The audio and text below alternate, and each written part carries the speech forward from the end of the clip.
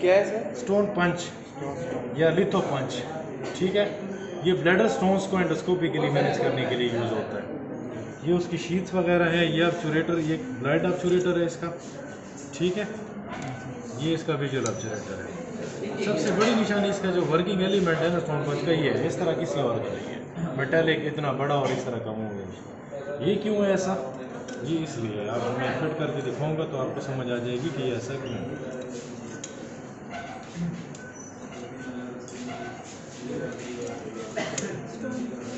Stone पंच या litho पंच ये देखें यहाँ स्टोन को ग्रिप किया जाता है और उसको ब्रेक किया जाता है। ये इसलिए ऐसा बना हुआ इसकी यहाँ जो लेंथ है ये 2.5 सेंटीमीटर तक है। यानी 2.5 सेंटीमीटर तक का स्टोन इसमें आप ब्रेक कर सकते हैं। ठीक? और ये ब्लेडर स्टोन के ठीक है? तो इसके आइडेंटिफिकेशन में कोई प्रॉब्लम हो सकती है कल?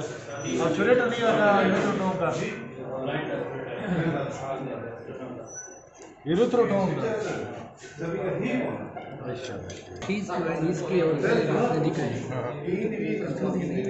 मैं आपको मैंने क्या कहा शुरू में?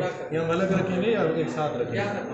असेंबल करके रखेंगे। अगर आपको इस तरह मैं दे दूँ तो फिर तो आप यूरोलॉजी के पट्टू का वह भी शायद पास ना कर सकें इनको मैं मिक्स कर दूँ सारों को। तो ये वो कर सकता है जिसने पार्टू का तो ये उसको करेंगे आपके लिए ये नहीं रखना। हमने इसको असेंबल करके रखना। और आपको ये पॉइंट क्लियर होंगे अब इसमें ये पॉइंट्स हमें क्लियर होंगे लेकिन अगर आप एक एक शीट के आइडेंटिफिकेशन पे जन लेना हो तो फिर आपको ये सब भूल जाएगा। और आप इतने कंफ्यूज हो जाएँगे कि आपको कुछ भी याद नहीं आएगा।